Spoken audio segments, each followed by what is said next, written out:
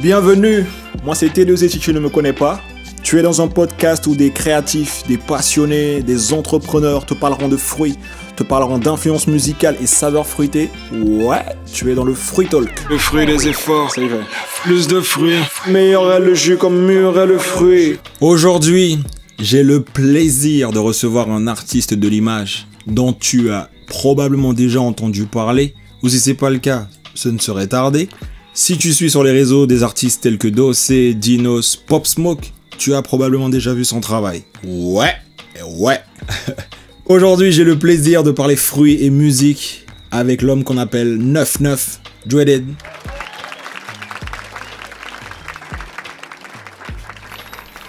Comme d'habitude, je t'immerge un peu plus dans la culture dont je suis l'un des fruits, avec une thématique bien précise à chaque épisode. Aujourd'hui, j'ai envie de te parler du perroquet, ou encore de Lara. C'est vrai. Le 4 septembre 2020, 99 a posté sur ses réseaux sociaux une photo, qui est une photo tirée de son shoot avec Dossé, où Dossé il a, il a un ara bleu sur son épaule, bleu et jaune. Et c'est ça qui m'a donné envie de te parler aujourd'hui de Lara, du perroquet. Car euh, bah, en ce moment même, j'enregistre cet épisode en direct de ma commune natale qui est Roura. Et euh, pour la petite histoire, tous les matins, les perroquets passent au-dessus du toit de chez mes parents pour euh, aller d'un point A à un point B toute la journée et ils retournent le soir au-dessus du toit, ils repassent pour retourner dormir en repartant du point B pour aller jusqu'au point A. Et ce perroquet, c'est un perroquet qui, enfin, ce, volatile, c'est un volatile du moins qui m'a beaucoup inspiré. Entre le picolette dont je vous ai parlé dans un précédent épisode et le perroquet, vous remarquerez que je suis assez fan des volatiles. Bref, et le perroquet, je me suis beaucoup inspiré euh, pour le logo du collectif que, j'ai monté avec, euh, avec des potes, qui est euh, RVSD, Riverside Music. En gros, j'ai designé un perroquet, euh, et dans la silhouette du perroquet, en négatif, on peut apercevoir euh, quelqu'un sur la gauche qui tient un micro, quelqu'un avec une coiffure afro, qui tient un micro. Et ouais, j'avais pris le perroquet en mascotte car le perroquet est un animal euh, où, li- où- il n'y a pas de discrimination en fait entre eux, car il y a des perroquets de différentes couleurs, mais sur un même arbre, on peut trouver différents perroquets de différentes couleurs. On peut retrouver les verts, les rouges, les bleus, et il n'y a jamais de discrimination entre eux. Ils se disputent jamais euh, pour la nourriture, car il y a à manger pour tout le monde, et ils se répartissent les choses euh, de manière équitable. Donc c'est en ça que je retrouvais que cela reflétait euh, relativement bien les valeurs du collectif, avec des personnes de différents horizons, et mais qui bossent et qui bouffent en même temps pour le même but. Et puis, et puis oui, ce voyage qui est fait tous les jours par le, par perroquet d'un point A à un point B, ça reflétait également le collectif. Car euh, bah, nous avions à une certaine période de notre vie tous fait le choix de partir de l'Amérique du Sud pour aller euh, vers l'Europe, avec en tête toujours cette même volonté d'exporter au-delà de nos frontières euh, ce que nous proposons. Quoi. Donc voilà. Là, il est temps de recevoir notre invité. C'est parti.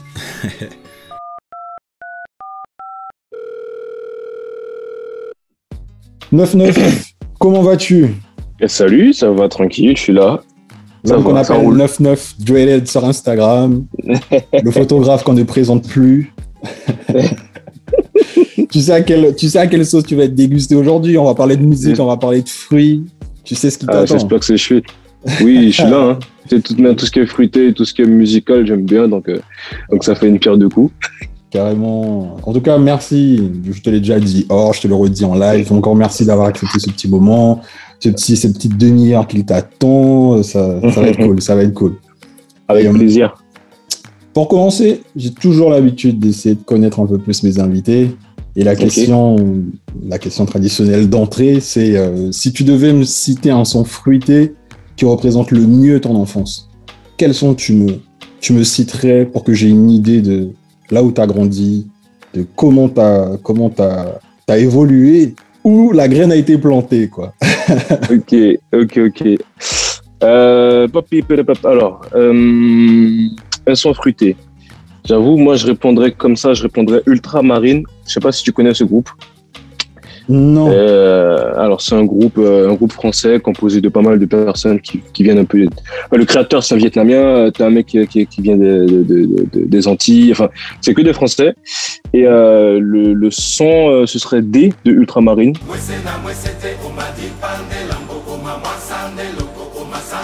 Pourquoi? Parce que euh, étant plus jeune, euh, j'étais beaucoup avec mon père. Euh, mon Ouais. père, euh, j'étais toujours à l'arrière de sa voiture, sur la banquette arrière, et il écoutait énormément de, de jazz, de jazz fusion, énormément de, de jazz un peu local. Euh, euh, J'ai cité Ultramarine, mais j'aurais pu citer euh, Caribbean Jazz Project.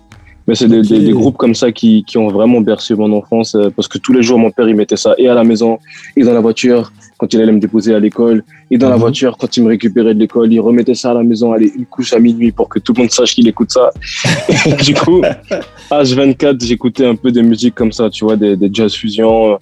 Et euh, mon père étant musicien, du coup, j'ai vite été sensibilisé à la musique. J'ai vite compris le langage. Il jouait, il jouait quoi Donc- comme instrument? Il est batteur. Ok. Il est batteur euh, et euh, un très bon batteur en plus. Euh, même avec le recul, hein, maintenant que j'ai grandi, que je, je comprends ce que c'est un peu plus la musique. Ouais. C'est un très très bon batteur, mon père, et même. D'accord. Tu dis ça parce que c'est ton papa ou tu dis ça parce que vraiment Non, Non, je te taquine, t'inquiète. c'est un plaisir de dire ça de mon père, mais objectivement, vraiment, c'est un très bon musicien. Tu sais, il, il a la capacité d'écouter un truc Ouais. et tout de suite, ah, on est en telle tonalité, ah, ok, on est en telle métrique, ah oui, c'est un, bah oui, c'est un Ok. 6 8 machin. Ok, ok. Donc, euh, donc voilà, j'ai vite été sensible à ça, ce qui fait que voilà, c'est une bonne réponse à mon avis. Ouais, mais de depuis ouf. l'enfance, euh, j'ai C'est une enfance passée, c'est une enfance passée principalement où Du coup, en En Guyane. Guyane, en Ok. Guyane, euh, beaucoup quelle de temps en commune? Guyane, Dans quelle ville? entre, entre Matoury et Rémire.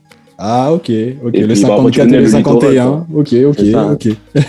Après, le littoral, un peu de Cayenne, Suzini, euh, Montabo. Ouais, tout ça, c'est des endroits qui sont familiers pour moi. Ok, J'ai grandi aussi un peu, euh, j'ai grandi un peu euh, pas trop loin de Versailles, à Félizy.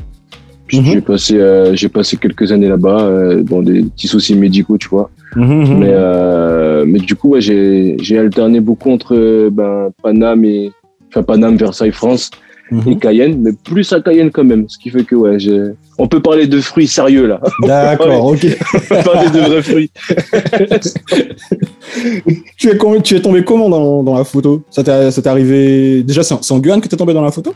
Que t'as comment Enfin, tombé Je dis ça, je dis tombé comme si. Bah, J'ai j'ai. Obélix en tête. Hein. Non, non, je, je considère que c'est une potion magique et t'es tombé dedans, quoi. Euh, c'est une potion, euh, c'est une potion que j'ai, j'ai, j'ai déjà goûté à cette potion-là quand j'étais petit. Ah, Donc je suis pas comme Obélix, je suis pas tombé à l'intérieur, mais j'ai pu y mettre le doigt et, et prendre le D'accord. goût. mon grand-père, euh, mon, mon grand-père paternel, maternel, pardon, Mhm. aimait beaucoup les images, il aimait beaucoup. Enfin, c'était un, c'était un geek en fait en vrai. Donc il m'a un petit peu initié à tout ce qui était informatique, euh, logiciel, même craquer des trucs et tout. Il faisait des trucs de malade, vraiment. Ton grand-père, donc dis? Mon grand-père, ouais, mon grand-père Ah ouais. maternel. Du coup, du coup, j'ai vite vu. euh, j'ai eu l'occasion de, de manipuler quelques boîtiers, euh, manipuler pas mal de logiciels, de trucs, puisque mon grand-père était à fond là-dedans. Donc, il m'a un petit peu initié à ça. T'as Ça, c'était initié avec quoi jeune et- comme, euh, quoi comme appareil en premier? Alors, lui, il avait des. Enfin, quand j'étais vraiment mais Ah, pour, ceux qui s'y connaissent, hein, parce que là, il y en a qui vont nous écouter, ils vont pas forcément s'y connaître. Bon, pour ceux qui s'y connaissent, en tout cas, n'hésite pas à nous dire c'est quoi, c'est quoi le premier, justement, le premier matos euh, avec lequel ton, ton grand-père t'a initié. Alors, déception, j'étais trop petit, je maîtrisais pas encore, euh, je connaissais pas encore, t'as vu, du coup, euh, je sais qu'il avait un argentique. Et si je me Ouais. trompe pas, c'était peut-être un, un Mamiya, mais Ok. Mamiya M-A-M-I-Y-A. Mais je sais pas si c'est vrai, parce que j'ai l'impression que je dis des bêtises, mais, mais c'était un, un appareil argentique qui faisait développer, euh, je pense qu'il envoyait les bobines, tu sais, il envoyait les pellicules en France, parce qu'il n'y avait pas Ah. de, Ouais, il y a ouais, pas de ouais. labo en Guyane, je crois. D'accord. J'allais justement te poser la euh, question est-ce qu'il développait, est-ce qu'il justement, est-ce qu'il allait jusqu'au développement lui-même? Mais ouais, ça me paraît chaud. Enfin, c'est parce que. Ouais, non, je crois qu'il envoyait les pellicules, euh, c'était des 35 mm, il les envoyait euh, en France, je crois. Mais euh, plus tard, euh, lorsque j'ai compris un petit peu ce que c'était comme boîtier et tout, je sais qu'il avait, un- il avait deux appareils numériques. Un, un, hybride qui était un Lumix, euh, un Lumix G, euh, G quelque chose, je me rappelle plus trop, et un Mhm. Canon euh, 2000D, qui était plutôt récent. Donc, euh, c'est surtout avec le 2000D que j'ai compris un petit peu, euh, lorsqu'il me montrait un petit peu les, ouais, il me montrait un peu, ouais, voilà, ça c'est ça, l'ouverture, la focale, les trucs. Donc, c'est surtout avec ça que j'ai compris un petit peu ce qu'il faisait. Ouais. Mais, Mais, euh, comment, mais je- comment il a comment comment il a il a détecté ce truc-là chez toi? C'est toi qui as été vers lui en lui disant papy, tu me montres ou c'est plutôt l'inverse? Il a vu que t'étais que t'étais passionné, il a dit bon vas-y je te montre ça et ainsi de suite. c'était, c'était timide. Honnêtement, j'ai pas, je, je suis pas beaucoup allé vers lui. Si tu veux, j'avais plus, euh, j'avais plus les yeux ouverts que les bras écartés, tu vois. euh, J'étais D'accord. plutôt timide. J'étais plus euh, très à l'affût de ce qu'il faisait. Et bon, lui, il aimait bien m'expliquer un peu ce qu'il faisait, mais j'étais pas, j'étais- je, je m'attendais pas à être photographe, tu vois. Ok. C'était, c'est vraiment lorsqu'il est parti, euh, lorsqu'il est décédé, j'ai, Mhm. j'ai, j'ai eu, j'ai hérité de son appareil en fait. D'accord. j'ai commencé à, à, à, à- à- à manipuler un petit peu, mais c'est surtout par rapport à, à ce moment-là, j'étais, j'étais sur le point de partir. Et mon colocataire, euh, mon colocataire avait un appareil photo et lui, il était vraiment à fond là-dedans. Donc tous les jours, il regardait des tutos. euh, Mhm. euh, tous les jours, il regardait des tutos, des techniques, des trucs, et il- on aimait bien les essayer ensemble. Mhm. J'y ai pris goût à ce moment-là, et c'est à ce moment-là que du coup, j'ai compris un petit peu le bagage que mon papy a laissé, t'as vu Donc, D'accord. Donc chaque shooting c'est- c'est une forme c'est une forme d'hommage à ton papy. On peut dire ça comme ça, on peut dire ça comme ça, mais j'y pense à chaque fois que je shoot. Mais euh, Inconsciemment ou non en fait ouais. parce qu'au final euh, je pense que Inconsciemment, c'est plus inconsciemment que justement euh, tu tu bah, tu tu rends honneur à, à ce qu'il t'a à ce qu'il t'a montré tu vois. Et c'est beau. c'est plus alors beau. quand je shoot quand je shoot de la personne, je Mhm. fais plus honneur à, à- Alors, quand je shoot de la personne, c'est pas spécialement mon papy, t'as vu, mais quand je shoot des paysages ou quand je vais Ouais. chercher, tu vois, des fleurs, des couleurs ou des, Ouais, des, des, des linéarités ou de la verticalité, là, je pense un peu à lui, tu vois, il était Ok, je vois bien, bien incrusté dans ce délire de paysage, de, de, le lifestyle de la nature lui-même, tu vois. Ok. Il Après, photographiait euh, pas, il, est- il photo- il photo- il photographiait pas beaucoup de, de personnes, d'hommes. Enfin, de, quand je dis homme avec un grand H, de- d'être humain, il, il, Il il photographiait beaucoup- beaucoup. la nature. En fait, c'était, c'était plus qu'il photographiait plus de souvenirs que de. Ah, en fait, le, su- le sujet était plus porté sur le souvenir que sur l'individu, si tu veux. Ok, Donc, ok, quand, il y avait des gens, il y, a- il y avait des gens, ils prenaient en photo des gens, mais quand il n'y a pas de, de personnes, ils prenaient en photo les, les paysages, tu vois. Ok, ok, je Et vois. euh, bah, du coup, par contre, l'hommage va se trouver dans cette démarche-là. J'ai pas, D'accord. j'ai pas de style encore, j'ai pas de, de vrai euh, style ou de personnalité photographique. J'ai, j'ai Mhm. peut-être une patte qui se développe, mais Mhm. j'ai- si tu me demandes, vas-y, t'es un photographe de quoi, je vais pas savoir te répondre, tu vois. D'accord. dire, je mélange un peu, je fais un peu de portrait, je fais un peu de reportage, je fais un peu de, de, Mhm. d'architecture, je fais un peu de paysage. Donc, un peu comme mon papy faisait, tu vois, il, il avait son petit boîtier, il faisait les trucs qu'il kiffait, tu vois. Mhm, mhm. Donc, peut-être que l'hommage, si on doit parler d'hommage, va plus se situer dans ce truc-là que dans euh, la démarche du, ah, telle personne, je veux la shooter comme mon papy. Ok, je vois, je vois, je vois. Mais Mais- par contre, par contre, pour être honnête, après, on arrête de, de parler si tu veux de ça. Euh, Euh, pas de Dans la souci, moi j'ai pas de limite de temps, donc si tu veux continuer, on peut continuer sur ça, mais il y a pas de souci, c'est comme tu veux. Je, m'adapte à tout. ça me Non, dérange alors, pas en tout cas. Nous là pour la- ça. la- dans la technicité, dans la technicité, dans même dans le cadrage, donc, euh, donc tout ce qui est plus euh, technique, Ouais. à savoir comment, à, à quel millimétrage se positionner pour shooter tel ou tel sujet, comment régler sa lumière, euh, c'est quoi un point de force, c'est quoi un, un point de fuite, Mhm. etc., etc. Alors j'ai mon, j'ai mon meilleur ami à l'époque qui était très porté sur l'art, euh, un Guyanais aussi, Mhm. euh, Sushi, je sais pas si on entendra ce, cette interview. Et lui, Big up à toi, dans Sushi. ses études, ouais, big up Sushi. Dans ses études, il, il avait des cours de photo, donc euh, c'est un peu lui qui m'a vraiment initié à la technique, tu vois. D'accord. Donc si on doit parler que technique, toi, tu vois, ouais. Quel est ton. T'as pas fait de cursus du coup dans la photographie? Non, Ok. fait YouTube. hein, Ton cursus a été YouTube. T'as été à la YouTube non, Academy. C'est que, c'est que maintenant que j'y vais à YouTube Academy. Pour comprendre ce que je fais et pour euh, essayer d'appréhender d'autres euh, d'autres approches de l'image. Mhm. Mais c'est vraiment l'expérimentation et, et shooter ce que j'aime. En fait, quand tu shootes ce que t'aimes, tu, tu captes. euh, Enfin, plus tu shootes ce que t'aimes, plus tu shootes bien ce que t'aimes. Et quand tu shootes mieux, bah, c'est c'est là que se situe le pivot entre ah, je suis devenu meilleur, tu vois. D'accord. Alors que si tu passes ton temps à shooter des trucs que t'aimes pas, peut-être que tu n'auras pas ce décalage de, de voir en tout cas combien Mhm. tu as évolué dans ton image ou combien tu as évolué dans ton regard. Mais si tu Mhm. regardes tous les jours la même chose, la chose que tu aimes, et que tu vois combien tu la regardes mieux, alors tu Mhm. comprendras mieux ton avancée dans l'image, tu vois. Je sais pas si c'est flou ce que je dis. Carrément. Non, non, mais je vois. Moi, je, passais, je sais pas si tu vois c'est qui, euh, bah, je sais pas si tu me suis, euh, Ah Axel, oui. Axel mon, Ah oui. mon, frère, mon frère. Évidemment, bah, je te suis. Évidemment, tous les je jours, je très foot. bien qui c'est. tous les jours, je le shoot et tous les jours, je vois que je le shoot de mieux en mieux, ou tous les jours, euh, on Ouais. voit qu'il y a une avancée, tu vois. Mais si, vas-y, euh, si c'est une fois comme ça, c'est pas intéressant. Enfin, en tout cas, c'est pas facile de voir combien tu avances. Donc, Mhm. c'est vraiment en construisant, alors voilà, pour clôturer le, le, le, le- sujet, en Mhm. construisant ton, ton entourage et en, en, en te situant un petit peu dans, dans quel genre de personne tu es et avec qui tu traînes Mhm. et euh, qu'est-ce que tu regardes, de quoi tu te nourris, donc quel fruit tu manges, Bah, le, le jus de fruit, ton jus de fruit va Mmh. prendre un peu le goût des autres fruits que tu as fréquentés, tu vois. Donc, à travers ce truc-là, je sais que si je te dis, vas-y, j'ai traîné avec cette personne-là, celle- Mm. cette personne-là m'a appris la technique, Sushi m'a appris la technique, mon grand-père m'a appris la démarche, et Mm. Axel m'a appris le regard. Si Mm. tu regardes les trois profils, tu vas comprendre mon image, tu vois. Mhm, mhm. C'est un euh, assemblage, ça- un assemblage des trois, quoi. Ouais, je suis le, le fruit, euh, je suis le fruit de mon environnement. Exactement. Mais c'est ça. Ouais. On, est, on, est, on, est, on, est, on est là où je veux aller. Voilà. On est le fruit Tu de notre environnement. Je suis le, fruit de mon environnement et le goût de mon nectar sera le, le, le, le mélange multifruit de tous les fruits qu'il y avait. Trop de temps de poésie, ça me parle. Mais oui, mais oui. Eh, je demande un monipulum sur ça. Maman, maman, n'est pas la bambo le fruit de mon environnement. Bon. Ah ouais, non mais de ouf, de ouf, de ouf.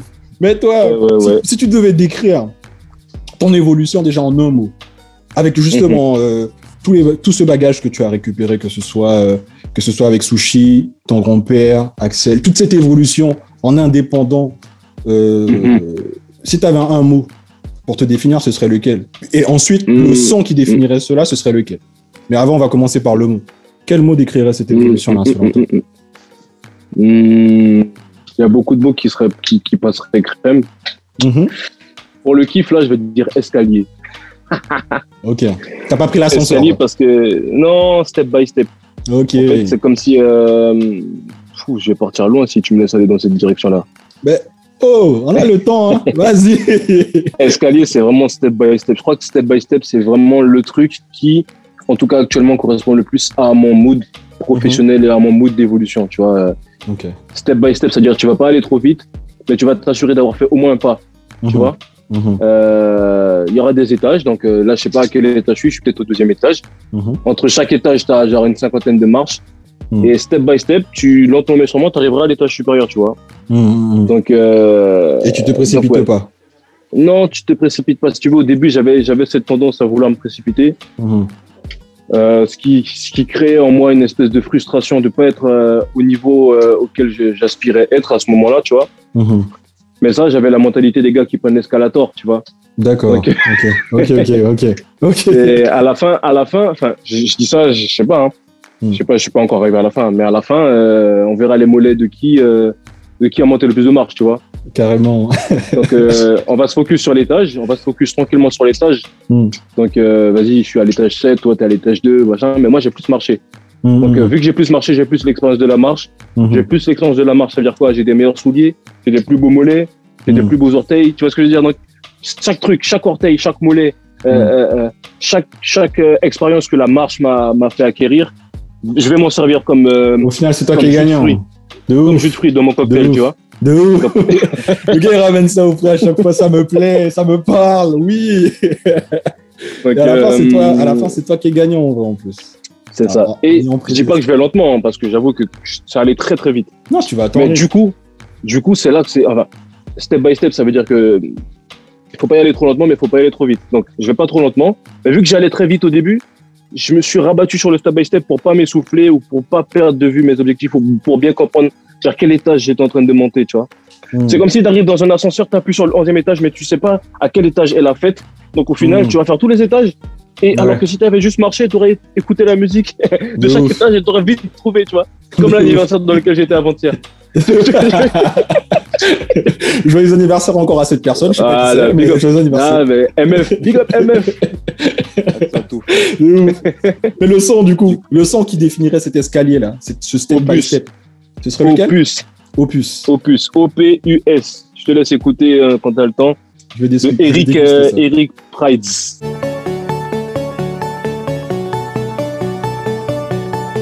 C'est un son qui est électro, hein, j'écoute un peu de tout. C'est un son électro et il dure 9 minutes et quelques. Mhm. Mais pourquoi Opus C'est que hum, la musique prend du temps à démarrer, tu vois. La musique prend du temps à démarrer. C'est le drop de la musique. Mhm. euh, je crois que c'est à la cinquième ou à la sixième minute.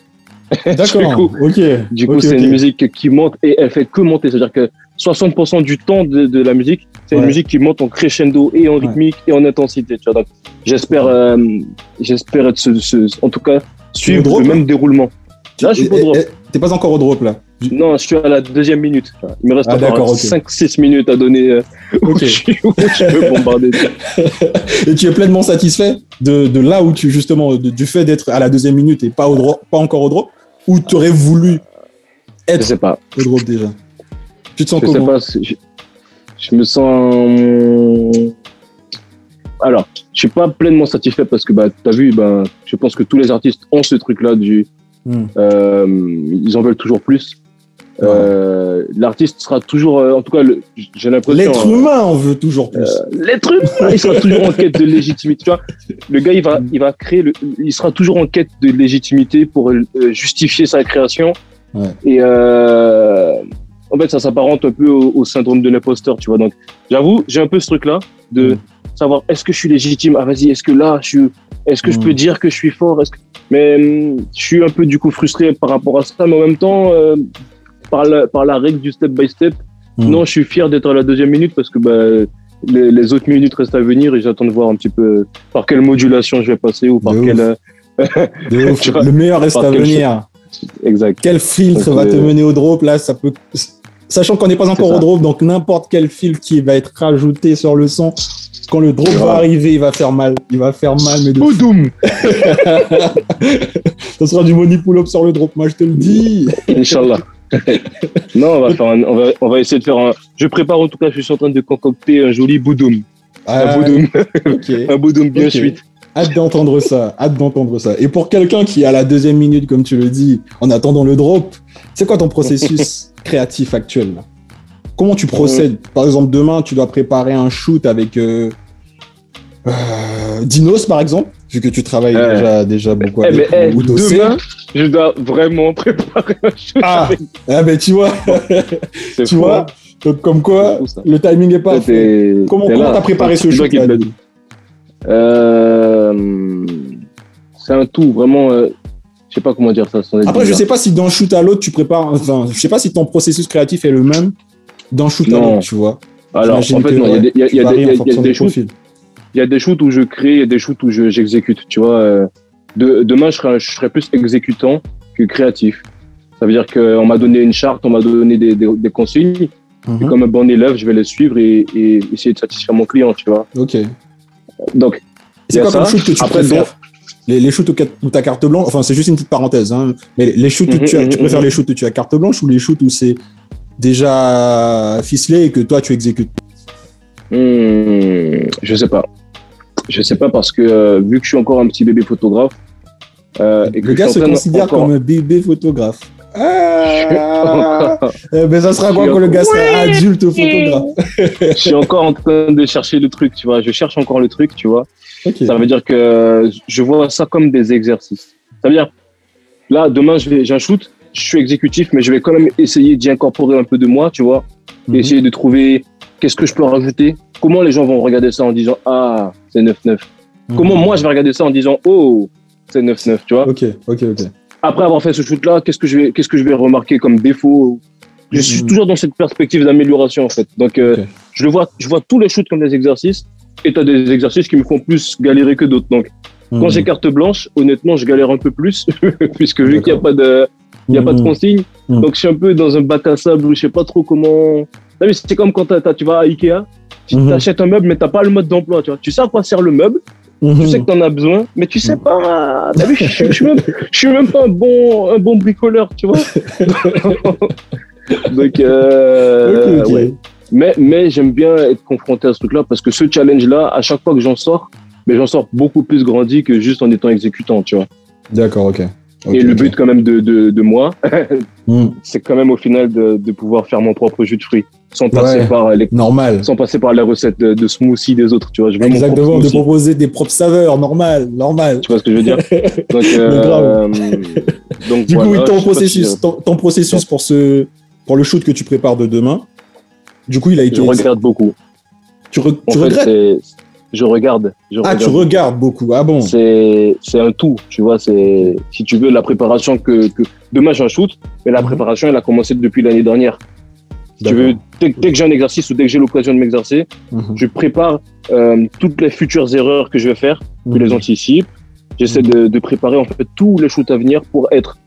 Je sais pas, je me dis si demain, si demain j'ai un- un- une opportunité de malade, je serai malade de pas être prêt à Mhm. accepter bras ouverts cette opportunité. Donc tous Mhm. les shoots que j'ai, je m'en sors Mhm. comme petit tremplin, step Mhm. by step, à être de Mhm. plus en plus prêt et préparé à, à être capable de tout faire, tu vois. Donc, euh, je veux pas, je veux pas demain me dit, vas-y, eh, viens shooter pour, euh, je sais pas, Kanye West, t'as besoin d'un photographe, viens shooter, euh, machin. Je veux pas être en mode, ah, euh, j'ai- pas le level. Non, Mhm, je, veux, mhm. je veux avoir le niveau. Je veux, euh, alors, je veux avoir le niveau de tous les étages par lesquels mon step by step va me faire passer. Tu vois ce que je veux dire? Là, ben, gars, déjà ton step by step, il- t'emmène déjà. Là, là, là, là, à chaque fois, je reviens, c'est deux minutes. Tu considères que tu es à deux minutes, mais c'est wow. Parce que là, je parle au gars qui a, s'il te plaît, euh, photographié Post Smoke. Et l'une des Ouais. photos de Post Smoke qui est, qui est reprise le plus souvent sur Internet, là, euh, enfin, repose en paix Post Smoke, mais depuis son décès, la photo, qui- il y a une photo qui tourne là. Je parle au gars qui a pris cette photo, s'il te plaît.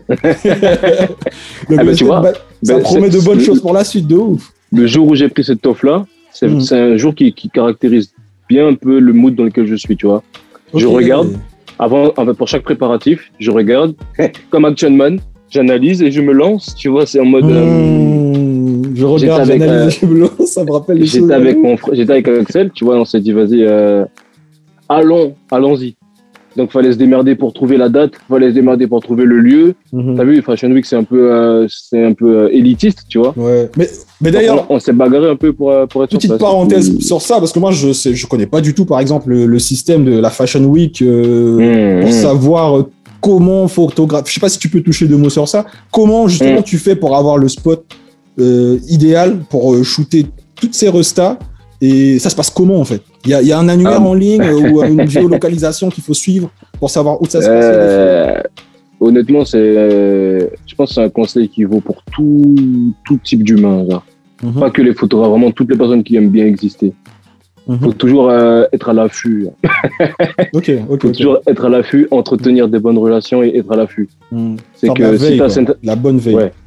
Si t'as cette, euh, si t'as cette information-là, ça veut dire que tu as quelqu'un qui a jugé que c'était cool que tu l'aies, parce Mhm. que c'est quand même un, milieu dans lequel où les informations sont un peu rares, Ah, de ouf. où euh, je vais pas donner cette info-là à n'importe qui. Ouais, y a de la Donc, si toi, tu arrives à savoir ce qui se passe, voilà. Si toi, tu arrives à savoir ce qui se passe, c'est que quelqu'un a bien voulu que tu sois là. Mm. Et c'est que tu as su, t'as su, en tout cas, euh, je sais pas, par le biais de, de l'agréabilité ou par le biais de la, la curiosité, mais tu as su susciter l'intérêt chez les gens qui ont l'information et et t'es sur place.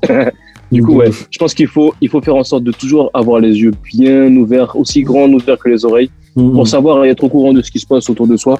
Parce que c'est comme ça, en fait, euh, c'est un peu comme ça que ça se passe dans l'évolution de tous les domaines, et le réseautage, et euh, le fait d'être amical, et le fait d'être pris au sérieux rapidement, et le fait de, euh, euh, de rester concentré et de rester à l'affût, c'est des petits pivots, des petits leviers qui font que quand tu te lances dans un truc, après, au final, ben, t'as des, t'as des atouts, tu vois, Mhm. t'as des atouts.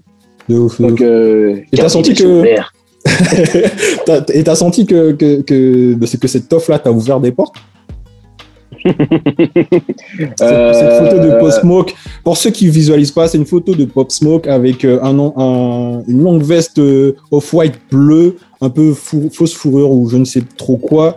Mais vous l'avez forcément vu cette photo de Pop Smoke. Et euh, ouais, du coup, ouais, la question c'était est-ce que, ce, est-ce que cette offre-là, ce cliché, t'a ouvert des portes Est-ce que tu l'as senti hmm. Je pense que oui, Mm. forcément, mais. Est-ce que tu me Honnêtement, honnêtement, honnêtement, non. Honnêtement, vraiment Non. non. Ah ouais Parce que euh, parce que euh, déjà, j'ai pas j'ai pas utilisé mon mon, mon, mon alias. J'ai pas été crédité au, au nom de 99.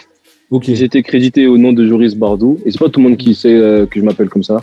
d'accord. Mais enfin, il y a ça. Il y a aussi le fait que c'est une session de droit que j'ai fait, donc c'est même plus ma photo. Au final, je l'aurais vendue, tu vois.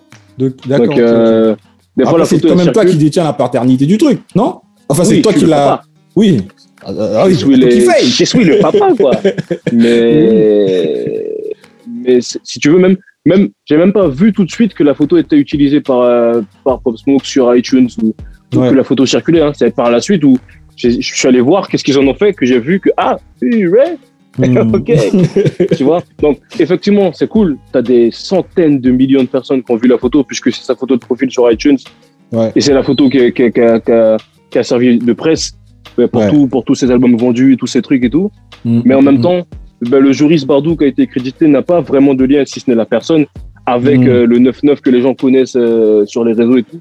Donc si moi, j'amène pas l'information, ça ne, ça ne m'amènerait du tout. Et, et, et- et je l'ai vendu, la photo, je l'ai vendue pour une misère. C'est la toute première photo que j'ai vendue de ma vie.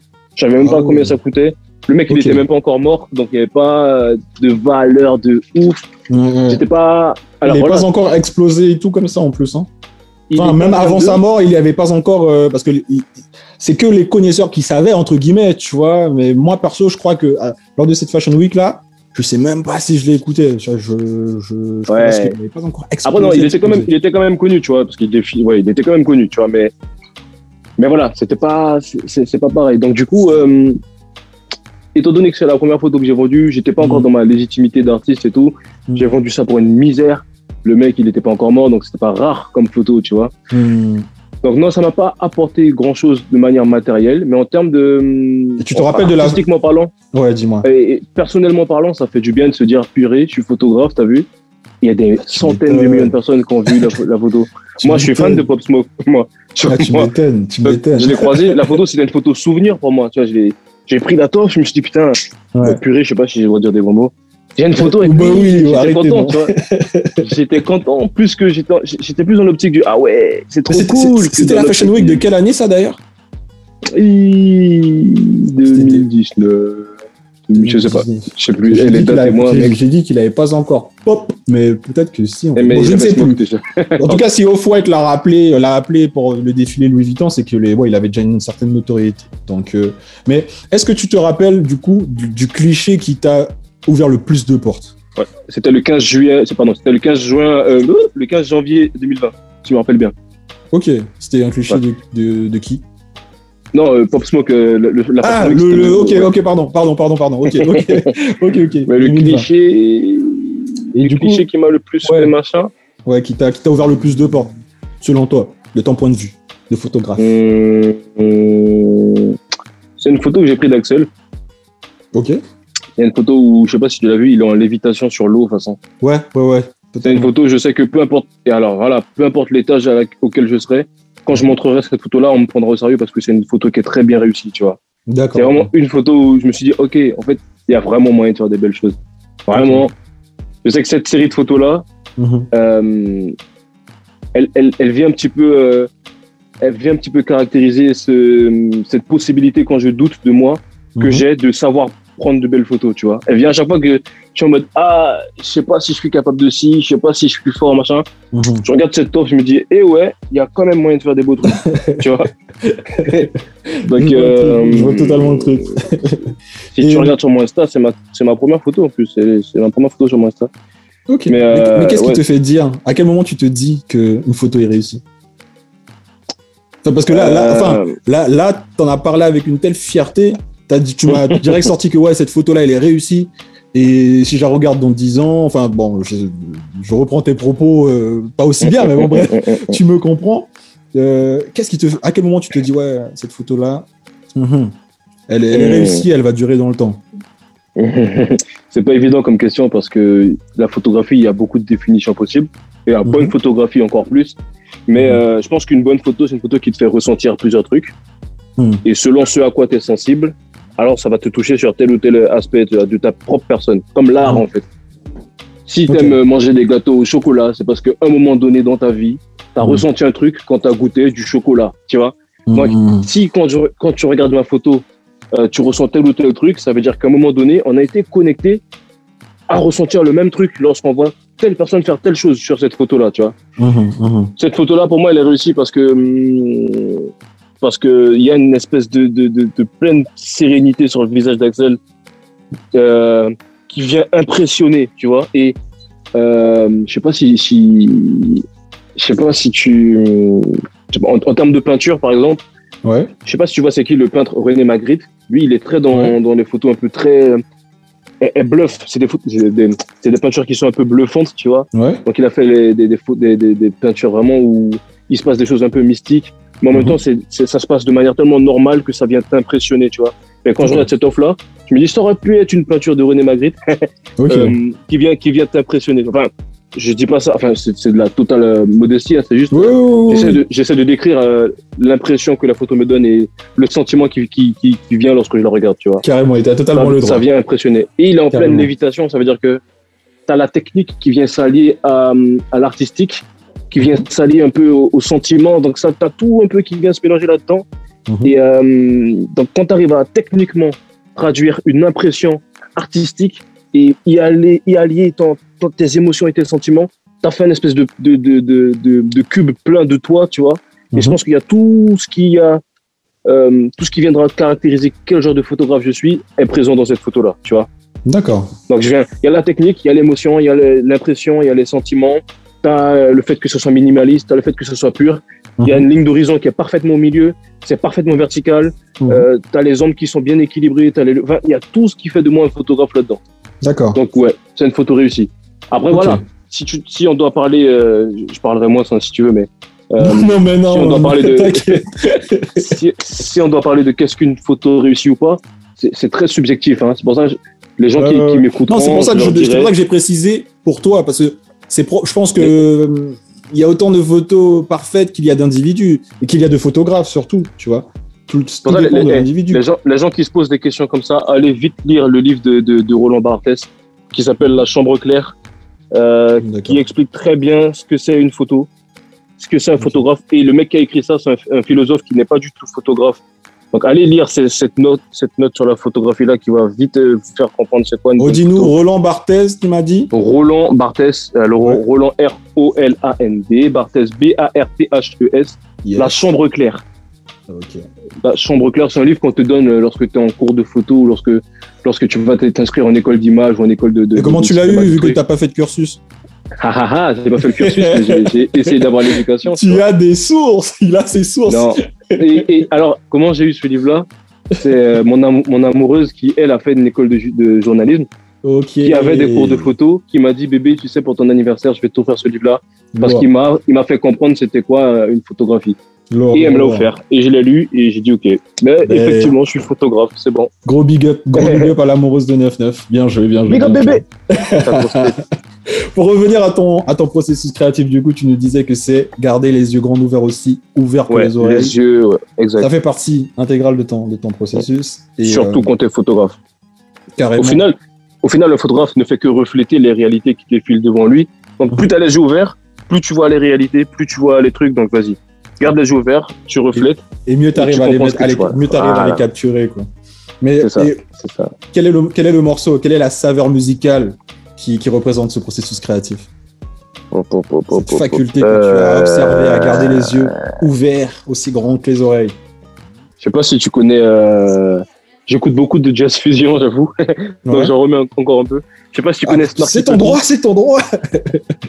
Snarky Puppy, c'est un... Snarky Puppy, c'est un groupe. euh, C'est un groupe euh, de. Ils font de la réécriture en fait, D'accord. euh, de la réharmonisation. Donc euh, ils ont fait un son qui s'appelle Lingus.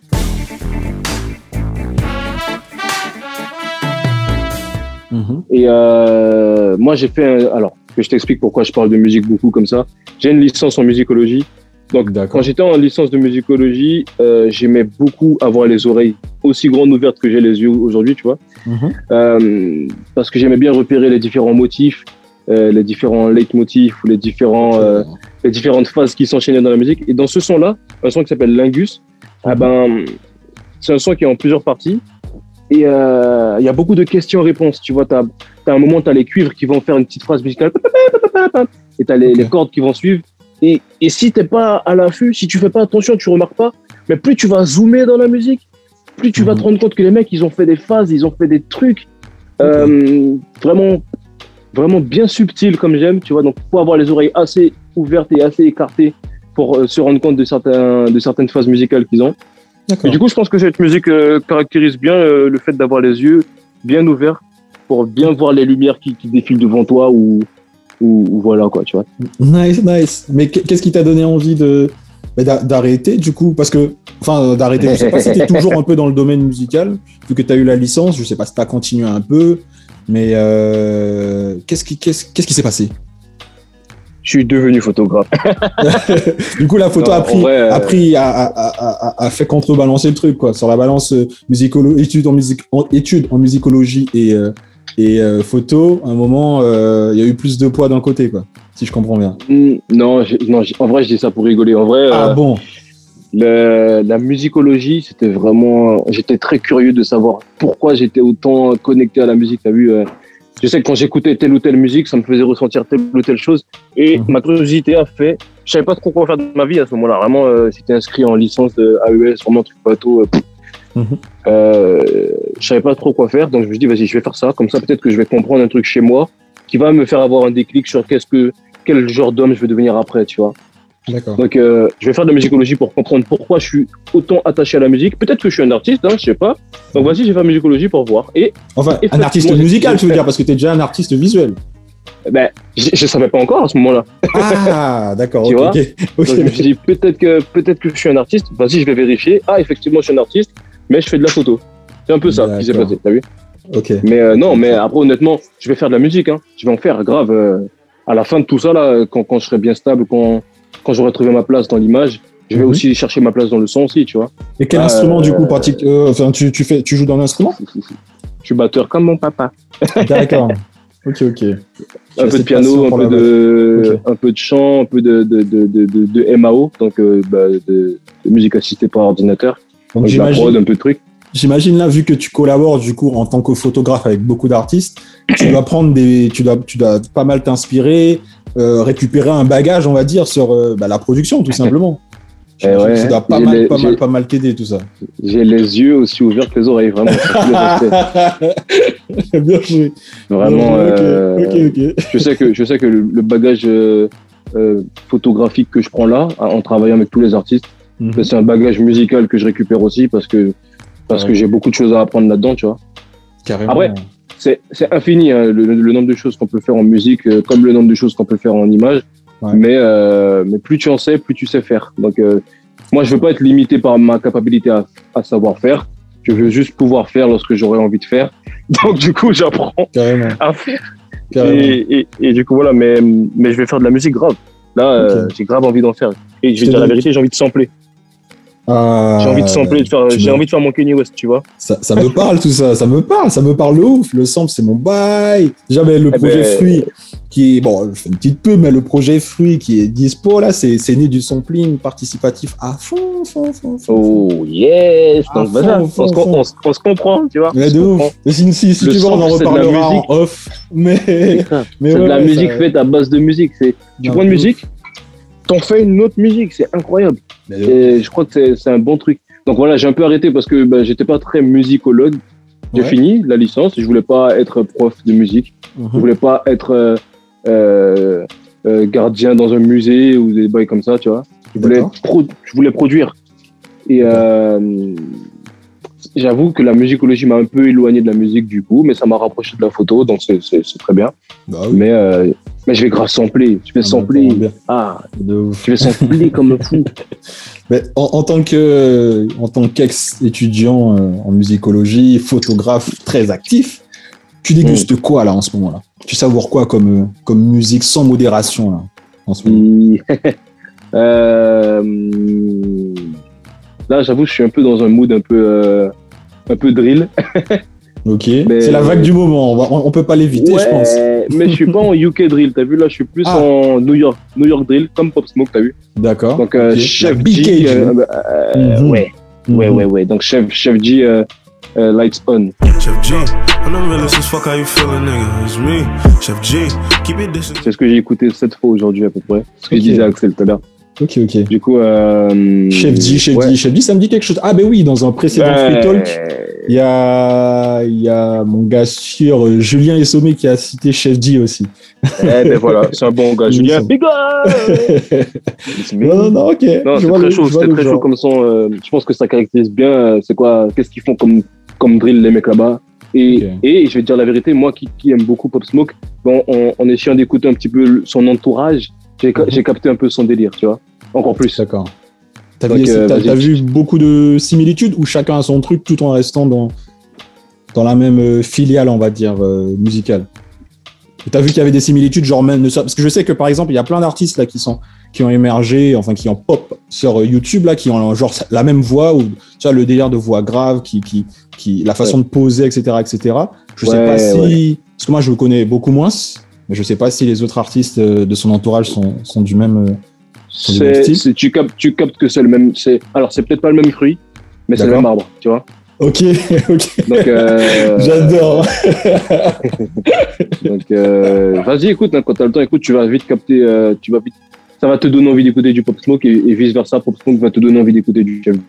Après, c'est un peu, c'est un peu De toute la façon, je musique. vais, euh, je vais un peu creuser la pour guerre. découvrir, pour découvrir justement les différents fruits de cet arbre de, de, de, de- Ouais, de- ouais. de- des États-Unis. Là, là, je vais aller, Ouais, je, vais, je vais creuser un peu plus euh, autour de Chef G, Pop Smoke, etc. Ouais, Euh, c'est des musiques un peu, un peu, un peu violentes, tu vois, c'est un peu, bon, ça prône pas la paix, si on veut. Mais, Ok, je vois. mais ça, ça, ça te donne envie d'être fort, tu vois. Moi, quand j'écoute des bails comme ça, je me dis, purée, vas-y, vas-y, je vais faire du sport. Ah, ça donne envie de, ça donne envie de workout Ouais. euh. Vas-y, je veux tout manger, vas-y, je veux tout. Et quand je vais shooter, je suis obligé, et j'écoute que des musiques comme ça. Pour, euh, pour avoir la, la dalle, la grosse dalle du Ah, conquérant. vois. t'arrives sur le shoot, t'arrives sur le, sur le plateau en mode. Ah, J'arrive, sur le plateau en chef G. ah, C'est important. hein. Mais, dis-moi les projets à venir. Ça, ça, ça, ça- que- quels sont les projets à venir Quel titre me citerais-tu pour me donner un aperçu de, de ce qui se prépare, là, de ce qui est au four de ton côté? Euh, tic, tic, tic, tic, tic. Euh, professionnellement parlant, je sais pas. Euh, J'avoue, j'écoute beaucoup Jossman. C'est un rappeur français là. Mhm. Et euh, il, a, il a sorti un son qui s'appelle Loto. Et ce son-là, il, il, il montre bien un petit peu vers quoi je, je tends là. Poto, poto, je veux plus voir mon daron jouer au loto. Putain, si je sors. Loto, c'est un peu euh, Loto. Euh, Jossman, Ouais, ouais, Loto. l'auto, mais quand tu dis l'auto, c'est en mode euh, full money? L'auto L-O-T-O Ouais, ouais, ouais, ou ouais, ouais. l'auto, la voiture? Euh, Loto full money. Ah, Plenty, en lot, à foison, foison money. une un peu, pâtier euh, là, ouais. Là, cette année, ce sera une année où, vas-y, je vais, c'est bon. Je veux manger, euh, je veux bien manger, je veux, je veux. Si tu veux, j'ai beaucoup travaillé, j'ai beau, j'ai énormément travaillé, et là, il est temps de, je, je ressens la dalle de, de- je veux sentir un peu le, le, jus- le- le jus de fruit de, de tout, de tout ce labeur-là, tu vois. Ok. carrément, euh, carrément. L'auto, c'est un peu le son, ouais. Ok, ouais. ok, ok. Vu, j'ai- quand je vais en shoot, pareil, j'écoute ce son-là, je me dis, vas-y, on va récupérer le, le- on va récupérer le butin qui est derrière ce shoot. Parce que je suis pas dans une phase créative là, je suis dans une phase euh, très euh, très client. Je réponds à beaucoup de commandes Ok. pour euh, pour sécuriser le sac, tu vois, pour euh, pour préparer un peu les, les trucs qui arrivent. Le D'un point de vue artistique, Ouais. d'un point de vue artistique, t'as des images qui vont arriver, mais ce sera plus pour la fin de l'année, tu vois. En D'accord. plus, euh, j'ai envie de faire des expos, j'ai envie de faire des, des trucs comme ça, voyager et tout. Lourd. Mais euh, là, les mois qui arrivent là, je vais charbonner comme un comme Jossman. Ok. Ok, ok. ok. Mais du coup, tu as en tête une expo pour, euh, pour quand, du coup? Pour la fin de l'année, là Ou tu, du coup, tu, tu, tu prévois de te poser dessus à la fin de l'année? Je- J'ai une, une expo en tête prévue pour la fin de l'année. On est en quel mois là? Là, on est en mars. On est en, avril, là, avril, avril, fin avril. On est en je mai, me dis, déjà. si en, eh, si en septembre j'arrive à finaliser mon petit, mon petit bail, Mhm. ça peut être cool. J'ai déjà des images, hein, j'ai déjà des images de prévues et tout. Je les ai pas encore travaillées. Il faut juste que je trouve un peu euh, la trame, que je trouve un peu vers quoi, quelle histoire je vais raconter. Tu vois D'accord, ok. Qu'est-ce que je vais raconter, qu'est-ce que je vais faire sentir et comment je vais faire en sorte que lorsque moi je regarderai mon expo, je vais me dire ah c'est une belle expo ça. Tu vois, comme, ok. comme on, ce qu'on disait tout à l'heure sur la balle photo. Faut, Ouais. que, faut que les, les gens qui aillent dans cette expo puissent comprendre quel artiste a, a fait ça, Mhm. euh, quel humain a fait ça, quel homme a fait ça, qu'ils puissent comprendre vraiment qu'est-ce que j'ai voulu raconter, Mhm. quelle émotion j'ai voulu faire partager, et- etc. Tu vois. Donc, j'ai des images qui sont cool. J'ai Mhm. pas encore de trame très bien définie, mais je, je sais que les gens qui vont regarder cette expo-là, Mhm. ils vont se sentir à l'aise. Tu vois. C'est un peu sur ça que je travaille. Le, le nom de l'expo, ce sera chez soi. Donc, euh, j'essaie de, de, de jongler un petit peu dans, dans des images qui vont te faire te sentir chez toi, tu vois. Ok, ok. Et t'as une idée de là où tu vas euh, nous faire dé- déguster le fruit de ton travail? Sur Paris, plus sur Paris, plus en province, plus en Guyane? Je sais pas encore. Je sais pas, pas encore. Moi, j'étais dans ma tête, j'aurais bien aimé me faire exposer à Londres. Ok. Pourquoi non J'aurais bien aimé parce que euh, je, je m'y suis senti à l'aise. D'accord. Je m'y suis vite senti entre guillemets euh, accepté comme si je, comme si j'y habitais, tu vois, comme si j'étais chez moi. C'est un peu là que j'ai eu le déclic en fait de cette idée de chez soi, tu vois. Mais euh, en même temps, j'ai envie de le faire en Guyane parce qu'en Guyane, c'est là où je suis effectivement chez moi. Mais Mhm. d'un point de vue stratégique et d'un point de vue euh, ben, opération coup de poing, Mhm. euh, ce, serait un bon, bon coup marketing de le faire à Londres, tu vois. Mhm. J'ai un peu, j'ai un peu cet, aspect, j'ai un peu cet aspect commercial qui prend le dessus aussi. J'avoue, j'avoue, j'ai fait des études de commerce, j'ai fait un diplôme de commerce, donc aussi, il y a un peu ce business, euh, businessman des fois qui va, qui va surgir, qui va surgir comme ça des fois, même entre les Ah deux lignes artistiques, tu vois. Le gars, a trop... le gars a plein de casquettes. Lourd. Non, mais t'as vu, t'as vu quand tu fais, eh, quand tu fais un cocktail, des fois c'est bien de mettre un gingembre Bah oui, c'est sûr, c'est sûr. Voilà, c'est ça. Voilà, Qu'importe voilà, où elle se fait, tu me tiendras au jeu, moi je viens. Qu'importe où elle se Mais bien fait, sûr. qu'elle se fasse à Londres, bien qu'elle se fasse en Guyane, qu'elle se fasse à Paris, nous là, papé. Ah, mais bah, voilà, tu vois. Après, même si je la fais à Londres, j'espère pouvoir euh, accueillir beaucoup de Guyanais, tu vois, beaucoup de personnes de chez moi qui comprendront vite, euh, qui comprendront peut-être même mieux ce que j'ai voulu partager, tu vois. Carrément. Donc, ça pourrait même être un motif de voyage où j'inviterai un tas de monde, je sais pas, on se prend un Airbnb, on se met à 100 000 dans un appart, je sais pas, ça raconte des, des conneries, t'as vu, mais, mais euh, c'est pas la destination, enfin, c'est pas parce que c'est loin de chez soi qu'il faut Ouais. pas s'y sentir chez soi, tu vois. C'est Ben aussi ça le message, tu Après, vois. on est en 2021, c'est sûr qu'on peut, on peut plus avoir juste euh, la distance comme motif de. Bon, là, on va dire avec le Covid, Bon, c'est un peu voilà. compliqué. Mais On est quand même en Ouais. 2021, c'est Ouais. pas évident de dire ça. une fois qu'on sera sorti de cette situation, on pourra reprendre le chemin des avions et le chemin de je sais plus quel pays. Et ce sera, Et plus un, ce sera plus un motif, c'est clair. Ouais. Mais 9-9, C'est ça. peux-tu nous dire quel genre de fruits es-tu? Quel genre d'individu se cache derrière ce blaze 99 dreaded sur Instagram, mesdames et messieurs? Tu es quel type de fruit? Si tu devais choisir un fruit pour te représenter, ce serait lequel? J'ai pas l'impression d'être un fruit compliqué. Mhm. J'ai pas l'impression d'être quelqu'un de, de, de compliqué. euh. Je sais que je, suis, je sais que je suis un gars, j'aime bien, euh, j'aime bien m'amuser, j'aime bien être entouré de personnes cool, raconter des conneries. euh. J'ai beaucoup de love à donner, tu vois. J'ai beaucoup de, j'ai beaucoup de love à donner. Donc j'ai l'impression d'être un espèce de d'abricot au pays, tu vois. T'as vu les, les pieds d'abricot qu'il y a à Montjoly, des fois? Où- j'ai l'impression d'être un espèce d'abricot pays où il y a beaucoup de jus, il y a beaucoup de goût. Déjà, c'est mon fruit préféré, tu vois. Donc, Mhm. J'aime- J'aime bien me dire que je suis un fruit que je préfère, mais mais c'est un, gros fruit où il y a beaucoup de jus, il y a beaucoup de, de goût, il y a beaucoup de trucs. J'aime bien l'idée d'être un gars qui a beaucoup de jus et qui a beaucoup de, de trucs à donner, tu vois. Donc euh, je pense que abricot pays, c'est pas un fruit qui est difficile à manger. Tu viens, tu prends ton couteau, tu coupes. T'as- tu, tu comprends, t'as pas besoin d'un mode d'emploi Ikea pour comprendre comment manger ce fruit, tu vois. pas comme, euh, tu peux sursauter si tu tombes sur une grenade ou si tu tombes sur des, des fois, t'as des fruits qui sont agressifs à l'œil, même si c'est Mm. des très bons fruits. Genre le carambole, c'est agressif à l'œil, tu vois. Mm. Mais abricot pays, t'arrives, c'est un rond, tu viens, tu coupes, tu manges, c'est bon. Mm, mm. Carrément. Donc voilà, Carrément, tu viens, tu coupes, tu manges et tu comprends vite ce que je veux dire. On s'entend bien, on rigole et on mange et on chill et voilà. De ouf, tout dans la simplicité. De, ouf, de ouf, de ouf, de ouf. En tout D'ailleurs, c'est un fruit qui me donne envie de rentrer chez moi. ah, de, re- de rentrer au pays, c'est quand, c'est quand le retour Ouais. Je vais essayer de rentrer en mai, là, fin mai, mais ça m'a l'air d'être euh, d'être euh, chaud.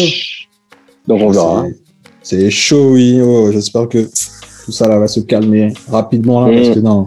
Mais euh, pour finir, c'est enfin c'est une question qui n'était pas du tout prévue, mais c'est parce qu'en fait, je, je- comme je, te suis sur les réseaux sociaux, il y a de il y a plein, plein, plein de collaborations qui s'enchaînent avec différents artistes, mais je me pose la Mhm. question à chaque fois, comment ça se passe? Comment ça se passe pour toi? Comment tu, je sais pas si tu travailles en agence ou si c'est un, t'es indépendant et que tu démarches les gens. Ça se passe comment en, fait, en général je suis indé.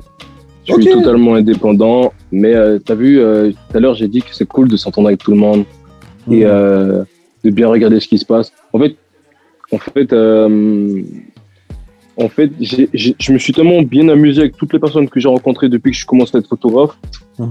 que euh, que ça passe crème, que qu'on s'entend bien. Du coup, euh, du coup, ben t'as tendance à quand c'est comme ça, t'as tendance à, à sociabiliser avec, euh, ben je sais pas, les managers, les artistes, avec les, les, les gens qui ont des boîtes de prod, avec Carrément. des gens qui ont qui ont besoin de main d'œuvre ou des gens qui connaissent des gens qui connaissent des gens qui ont besoin de main d'œuvre. Donc donc euh, y a- as le fait d'e- d'essayer d'être toujours au bon moment, au bon endroit, et tu as le fait d'avoir été au bon moment, au bon endroit, la personne qu'il fallait être, et la personne assez agréable pour qu'on la rappelle, pour qu'elle soit encore au bon Mhm. endroit, au bon moment, et du coup, ben, tu, tu ouais, essaie d'être toi-même et essaie d'être cool avec les gens avec lesquels tu travailles pour que, au final, ce soit pas désagréable ni pour eux ni pour toi de travailler ensemble, pour qu'on te rappelle, pour que voilà, et ainsi de suite, la machine est lancée et le jus de fruits en usine. Voilà. Ah, ça, ça j'aurais pas pu espérer mieux comme mot de la fin. Que de bons conseils. Avec la petite métaphore qui va bien, j'adore, j'apprécie, je valide, tout est fruité. En tout cas, 9-9, C'était encore merci.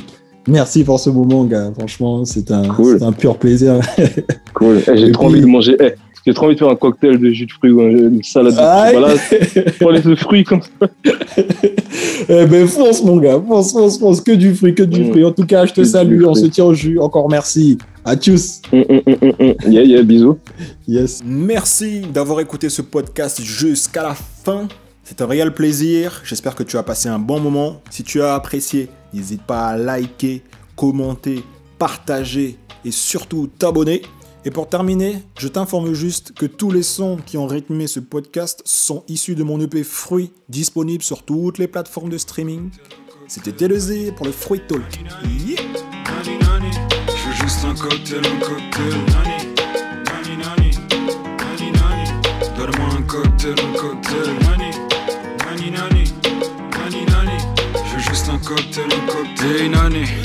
Sers-moi un cocktail frais. Je veux sentir le goût des agrumes. J'ai le verre vide, la tête.